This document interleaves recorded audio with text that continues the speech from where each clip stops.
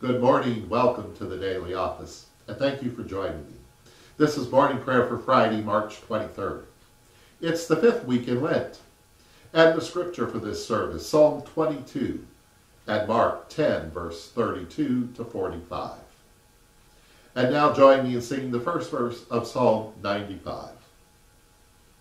Come, let us sing unto our God the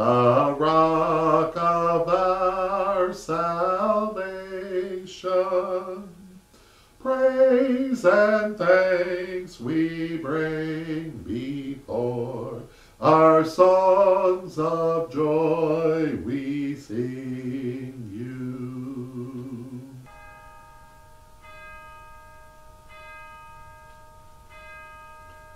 Open my lips my mouth shall declare your praise. My God, my God, why have you forsaken me? Psalm 22, and please recite it with me. My God, my God, why have you forsaken me? Why are you so far from helping me, and from the words of my distress? O oh my God, I cry in the day, but you do not hear me. I cry in the night, and I find no rest. But you alone are holy, O you enthroned upon the praises of Israel. Our forebears trusted in you. They trusted, and you delivered them. They cried out to you and were delivered. They trusted in you and were not put to shame. But I am just a worm and a nobody, a reproach of all, despised by the people. All that see me laugh me to scorn. They curl their lips, they shake their head, saying, He trusted in God, let God deliver him, if God is his friend. But you, God, took me out of the womb. You gave me hope upon my mother's breast. I was entrusted to you since my birth. You were my God from my beginning. Do not leave me alone, for trouble is near, and there is none to help. Many bulls have surrounded me, strong bulls of Bashan have beset me all around. They open wide their mouths at me, like a ravening and a roaring lion. I am poured out like water, and my bones are disjointed. My heart is like wax melted within my breast. My mouth is as dry as a potsherd, and my tongue cleaves to my jaws. You have brought me to the dust of the grave for dogs have surrounded me. The assembly of the wicked have enclosed me. They pierced my hands and my feet, and I can count all my bones. They look and stare at me. They divide my garments among themselves and cast lots for my robe. O God, come to my assistance. O my strength, make haste to help me. Deliver me from the sword and my life from the grip of the dog. Save me from the lion's mouth, from the horns of these oxen. I will declare your name to my people. In the midst of the congregation, I will praise you. All you that fear the Most High, praise God. All children of Jacob, Leah, and Rachel, glorify God. Stand in awe, you children of Israel. For God has not despised nor scorned the poor, nor looked away from them. But when they cried to God, they were heard. I praise you in the great congregation. I will pay my vows before them that fear you. The poor shall eat and be satisfied. They that seek you shall praise you. May their hearts live forever. All the world shall remember and turn to you, and all the families of the nations shall worship before you. For the kingdom is yours, and you are the governor among the nations. All the mighty of the earth shall worship, all who are mortal shall bow before you, for none can keep their own soul alive. My soul shall live for you, and my children shall serve you too. They will be known as yours forever. They shall come and should declare your righteousness to a generation yet to be born, these things that you have done.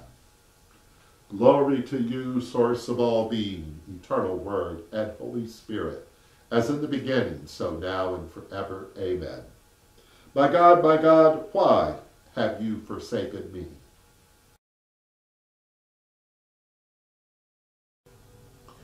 A reading from the Holy Gospel according to Mark chapter 10, beginning at verse 32. They were on the road going up to Jerusalem, and Jesus was walking ahead of them. They were amazed, and those who followed were afraid. He took the twelve aside again and began to tell them what was going to happen to him, saying, See, we are going up to Jerusalem, and the Son of Man will be handed over to the chief priests and the scribes, and they will condemn him to death. Then they will hand him over to the Gentiles. They will mock him and spit on him and flog him and kill him. And after three days he will rise again.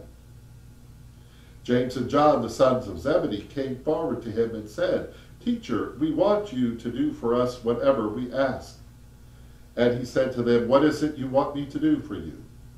They said, Grant us to sit one at your right and one at your left hand in your glory. But Jesus said to them, You do not know what you are asking. Are you able to drink the cup that I drink, or be baptized with the baptism that I am baptized with? They replied, We are able. And then Jesus said to them, The cup I drink, you will drink, and with the baptism with which I am baptized, you will be baptized. But to sit at my right hand or at my left is not mine to grant, but it is for those whom it has been prepared. When the ten heard this, they began to be angry with James and John. And so Jesus called them and said to them, You know that among the Gentiles, those whom they recognize as their rulers lord it over them, and their great ones are tyrants over them. But it is not so among you. But whoever wishes to become great among you must be your servant. And whoever wishes to be first among you must be slave of all. For the Son of Man came not to be served, but to serve, and to give his life a ransom for many. Here ends the lesson.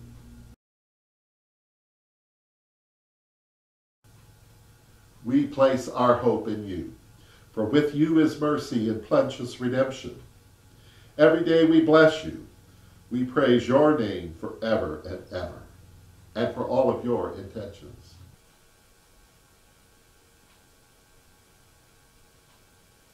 And now, in the words our Savior taught us, we're bold to say, Our beloved which art in heaven, holy is your name. Your kingdom come, your will be done on earth as it is in heaven. Give us this day our daily bread. Forgive us as we forgive others. Lead us not into temptation, but deliver us from evil. For the kingdom, the power, and the glory are yours, now and forever. Let us pray. You are our strength, dear God, for you have loved us in our poverty. Rule our lives and help us to remember you each day. In Jesus' name we pray. Amen.